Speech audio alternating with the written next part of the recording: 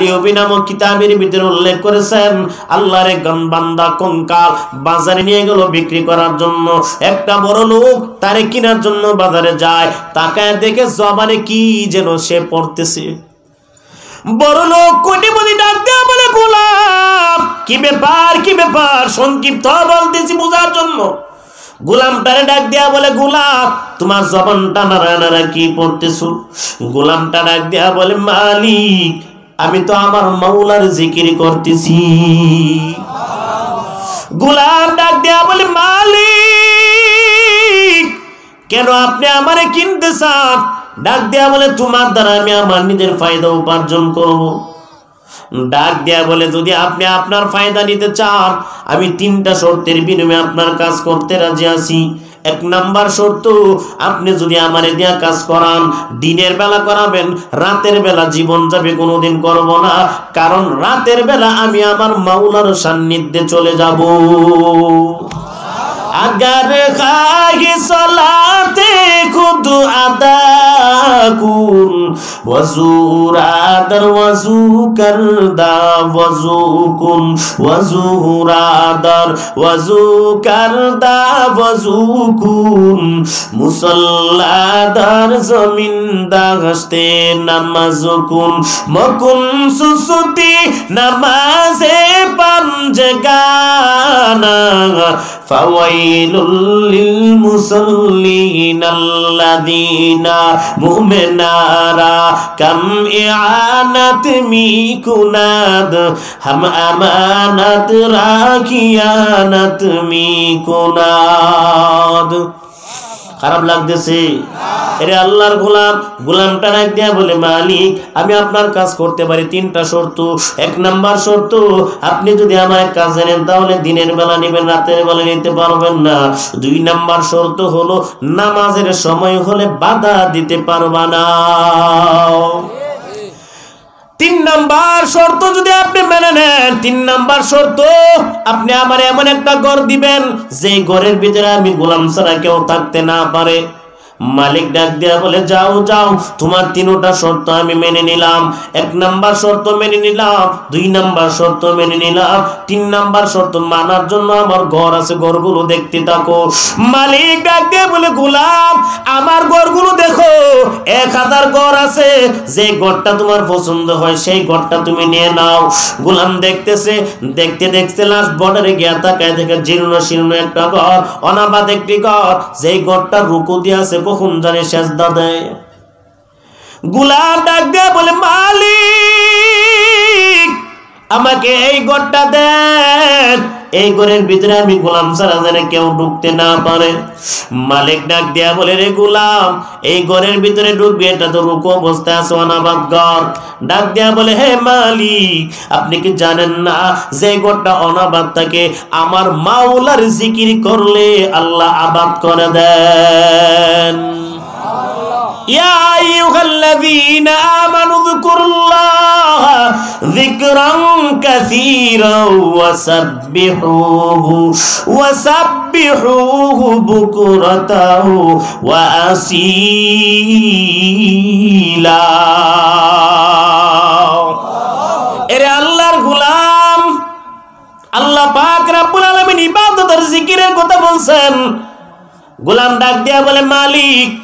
যে ঘরটা অনাবাদ তাকে আল্লাহর জিকিরের মাধ্যমে আবাদ করে দেন। রুকু অবস্থায় থাকলেও পরে না। রাখে আল্লাহ? আর জোরে বলেন, রাখে আল্লাহ? আল্লাহ যদি কাউকে রাখে, দুনিয়ার কেউ তারে ক্ষতি করতে পারবে। আল্লাহ যদি আমার মরণ দেয়, দুনিয়ার এমপি, মন্ত্রী বাদশারও আমার রাখতে পারবে। না না, রাখতে পারবে না রে গোলাম। এই মালিক ডাক দেয়া বলে, যাও, তোমার তিন শর্ত আমি মেনে নিলাম। তোমার ঘরের ভিতরে তুমি থাকো। আল্লাহর এই বান্দা তখন ঘরের ভিতরে গিয়া তুই আল্লাহকে ডাকতে আরম্ভ। সন্ধ্যা হয়ে গেছে। অন্য অন্য গোলামেরা মেয়ে নিয়ার মদ নিয়ার মধ্যে রাড্ডাখানায় কালাপ ঘরের ভিতরে গান গায়। আল্লাহর এই বান্দা গান গায় না। রাত যখন হয়ে যায়, মাগরিবের পরে দরজাটুকু বন্ধ করে দেয়। রাতের আধারে খানা খায় না। আমার মাওলার দরবারে ইবাদত করে কান্নার আওয়াজ। গভীর রাতে রেখে আমার আল্লাহ দরবারে ডাক দিয়া বলি, মালিক, আপনি আমারে মাফ করে দেন। দুনিয়ার মালিকের আপনি হেদায়াত দান করে দেন। আল্লাহর দরবারে দোয়া করতেছে। আল্লাহকে ডাক দিয়া বলে, মালিক, দুনিয়ার মালিকের ইবাদত করি বলে রাতের দিনের বেলা তোমার ইবাদত করতে পারি নাই। আল্লাহ, তারপরও রাতের আধারে যতটুকু তোমার গোলামি করি, আল্লাহ, তুমি জবাব দাও, আমি তোমার গোলামি করতে পারলাম কিনা, মাফ করলাম কিনা। আল্লাহ পাক গাইবে আওয়াজ দেয়া, ডাক দেয়া বলে, গুলাম, আমি আল্লাহ পাক রাব্বুল আলামিন তোর জীবনের গুনাহ মাফ করে নিষ্পাপ বানায়া দিলাম। সকাল হয়ে গেছে, কামে আরম্ভ। কাজ করতেছে, সন্ধ্যা হয়ে গেছে। এই গোলামের মালিক ডাক দিয়া বলে, দেখি অন্য অন্য মালিকেরা তারা গান গায়, তারা মদের আড্ডাখানা দেয়, মেয়ে নিয়ে নাচানাচি করে। কিন্তু আমার এই গোলামটা দরওয়াজা দিয়া কি করতেছি? মালিক তখন দৌড় মারছে, ঘরের ভিতর থেকে বের হইয়া গোলামের ঘরের জানালার ফাঁকা দিয়া তাকায়। ফাঁকা দিয়া তাকায় দেখে গোলামটা শেষদা দিয়া মাওলার দরবারে কান্নার আওয়াজ। কি হয়েছে রে গুলাম? গোলামটা কাঁদে কেন? আল্লাহ দরবারে কাঁদে। সাদের দিকে তাকায় দেখে ঘরের মধ্যে কোনো টিন নাই সাদ নাই। আমার আল্লাহ পাক বেহেশ থেকে সরাসরি লাইট তার ঘরের ভিতরে দান করছেন। বিবির কাছে গিয়ে হাজির হয়ে গেছে। বিবির গিয়ে ডাক দেয়া বলে, বিবি, এমন একটা গোলাম কিনলাম, যেই গোলামটা আমার মৌলার দরবারে আমাদের ব্যাপারে বিরুদ্ধে বিচার দায়ের করে না। কত মানা দেয় কত গালি গালাজ করি, তারপর আল্লাহর দরবারে বিচার দেয় না। এরপর মালিকের দরবারে বলে, আল্লাহ, হেদায়াত নসিব করে দাও, আমার মালিকের হেদায়াত দাও। আমার ব্যাপারে হেদায়াতের দোয়া করতেছে, এমন একটা গোলাম তো আমাদের জন্য রাখা উচিত হবে না। বিবি ডাক দেয়া বলে, স্বামী আমার, আগামীকাল সন্ধ্যাবেলা আমি আবার দেখব। সন্ধ্যা হয়ে যাওয়ার পর গোলামের ঘরের জানালার ফাঁকা দিয়ে বিবি তাকাইছে। আগের দিন রাতে স্বামী যা দেখছে, বিবিটাও তা দেখছে। বিবি সকাল হয়ে গেছে। ডাক দিয়া বলে, স্বামী আমার গোলামটারে আজাদ করে দাও, স্বাধীনতা দিয়ে দাও। সকাল হয়ে গেল গোলামটারে ডাক দিয়া বলে, গোলাম, যাও। তোমাকে আজকে থেকে আমি আজাদ করে দিলাম, আল্লাহর ইবাদত বেশি বেশি করে করতে থাকো। গোলামটা ডাক দিয়া বলে, মালিক, কি হয়েছে আমার দ্বারা? কি আপনি সন্তুষ্ট নাকি অসন্তুষ্ট?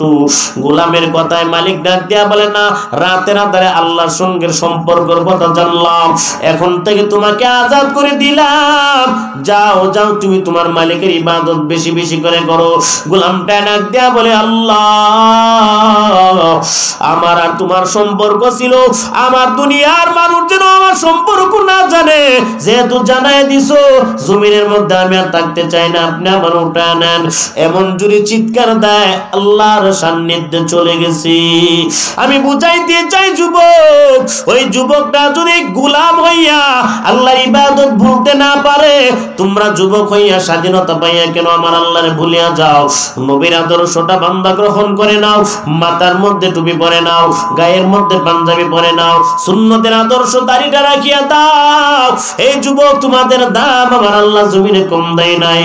আল্লাহ পাক রাব্বুল বলেছেন, ইয়াউমা আখি। এরে আল্লাহর গোলাম, জমিনের মধ্যে কেউ আপন না, কেউ আপন না, পরকালেও আপন হবে না।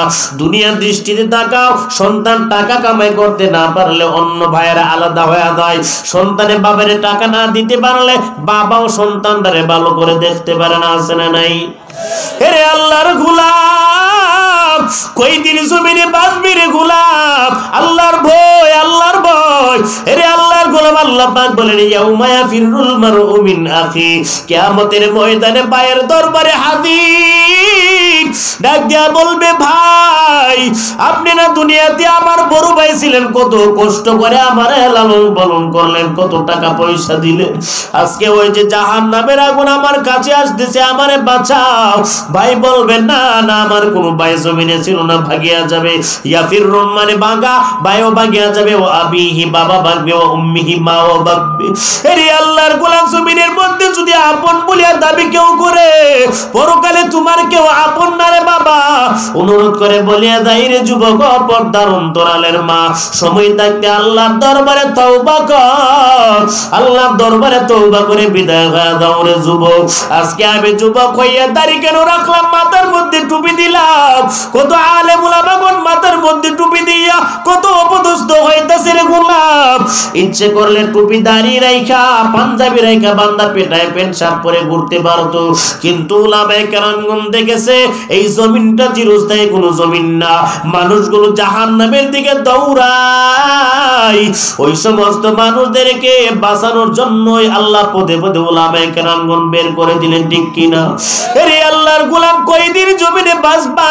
এমন কোনো দিন নাই কান্নার আওয়াজ। এমন কোনো দিন নাই কান্নার আওয়াজ। রে আল্লাহর গুলাম, গত বছর আমার সাথে এক বক্তা দুনিয়া থেকে বিদায় হয়ে গেল। আমার এলাকার পাশের গ্রামের গ্রামে এক বক্তা জুনাই সিদ্দিকি না। বান্দা সুনামগঞ্জে প্রোগ্রাম করে আসছে, আমি জামালপুরে প্রোগ্রাম করলাম। ময়মনসিংহ ডিস্ট্রিক্ট প্রোগ্রাম করে স্টেজ থেকে নামে আমার বন্ধুরে আমি ফোন দেই, কোথায় আসো ডাক দিয়া বলে, সুনামগঞ্জের স্টেজ থেকে নামলাম। ডাক দিয়া বললাম, বন্ধু, ভৈরবে সবাই একত্রিত হব। সর্দার নামক হোটেলের মধ্যে আমরা চা পান করব, আড্ডা দিব। এই বন্ধু যখন ঘুরতে, যখন নাকি স্টেজ থেকে নামে, রওনা দিয়া ভৈরবের উদ্দেশ্যে রওনা দেয়। আমি আমার বন্ধুর দুই দুই ঘণ্টা আগে বাড়িতে পৌঁছে গেলাম। সে আসতে পারে নাই, সকাল হয়ে গেল ভৈরবের দিকে হাজির। সন্তানরা সকালবেলা ফোন দেয়, বাবা, আপনি আমার জন্য কাপড় আর মজা নিয়ে আসবেন। বললেন, এখনও তো আপনি আসলেন না।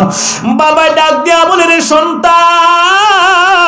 অপেক্ষা কর, আমি আধা ঘণ্টার ভিতরে বাড়িতে উপস্থিত হইব। তুমি তাড়াতাড়ি বক্তব্য যাও কোরআনটা পরে আসো। কোরআন পরে বাড়িতে আসবা, দেখবা তোমার বাবা হাজির হয়ে গেল। সন্তানটা যখন মক্তবে চলে গেল কোরআন পড়ার জন্য। মক্তবে যাওয়ার পর মোবাইলটা কাটতে দেরি হয়, দশ মিনিট পরে আমার বন্ধু দুনিয়া থেকে এক্সিডেন্ট হয়ে বিদায় হয়ে গেল। এরে আল্লাহর গোলাম জুনাই সিদ্দিকী, অনেক ওয়াজ আমার চাইতে বয়স কম আল্লাহর এই বান্দা যুবক বিদায় হয়ে যাওয়ার পর লাশটা নিয়ে বাড়িতে হাজির হয়ে গেল। বিবি ঘর থেকে দৌড়ে আসে, ডাক দিয়া বলে, অ্যাম্বুলেন্সের ভিতরে কার লাশ দেখা দেয় ডাক দিয়া বলে, তোমার স্বামী দুনিয়া থেকে বিদায় হয়ে গেল। সন্তানরা কোরআন পরে এসে তাকায় দেখে বাবার গায়ে মুখে রক্ত দেখা দেয় এই রক্ত দেখা বাবার দিকে তাকায় না, মায়ের চেহারা দিকে তাকাইয়া গলায় জুড়িয়া কান্নার আওয়াজ। ডাক দিয়া বলে, মা, তুমি কেন কাঁদো? আমার বাবার গলার মধ্যে মুখে রক্ত খেলো কতর বাবারে ডাক দিয়া দেখ বাবার গলায় জুড়িয়া কান্নার আওয়াজ নেই বাবা। আপনি উঠেন, আপনার গলায় রক্ত কেন? মাথার মধ্যে রক্ত, মুখের মধ্যে রক্ত কেন? মায়ের কাছে একবার দৌড় দেই, মা! আমার বাবাই তো আমার কোনো কথা শুনে না। কি ব্যাপার? আমার বাবা না বলল, আমার জন্য মজা আনবে আমার জন্য শীতের কাপড় নিয়ে আসবে।